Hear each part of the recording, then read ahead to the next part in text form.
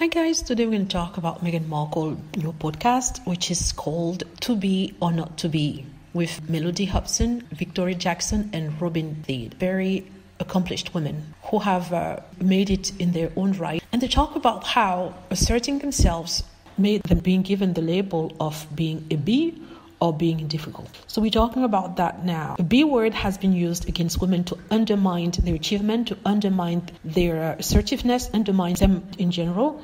And it has been used to shut women up, especially black women. We talk about the fact that when you know what you want and you go for it and you're very assertive and you're very firm in your demands and you're very strong, strong willed, people take it as a threat, especially when you are a person of color there's that perception that black women is automatically mean.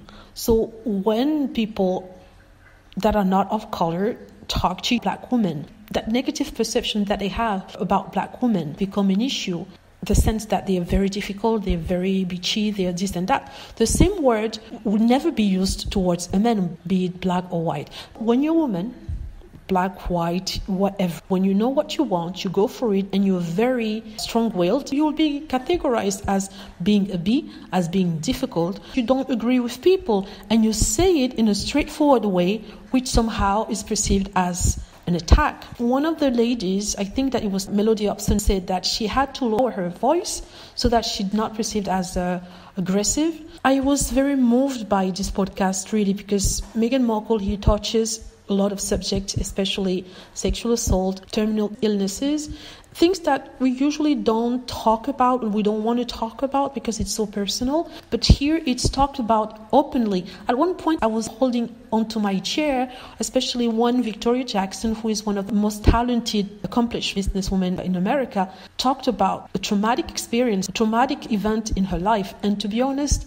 I cried. I had to listen to the podcast a second time because we're given so much information that it takes time to decipher it and to understand what we're being taught. I needed to to listen to it a second time. We felt like in the privacy of these women who are talking about their lives, talking about how they went from little to a lot, how they were raised to achieve what they achieved, how they were set on the path to greatness. So there's a lot in there. I don't want to talk about it here. Like I said, I'm not reviewing it. I'm just giving you my opinion on that. And I really, really loved it. It was like the best of Meghan. It's getting better and better. I keep repeating myself every day on how good it is, how informative it is. Sometimes it's heartbreaking to listen to all the traumas that some of the ladies that we've been listening so far have gone through. And it's getting deeper each time. It talks about subjects that are so personal it doesn't put you off, right?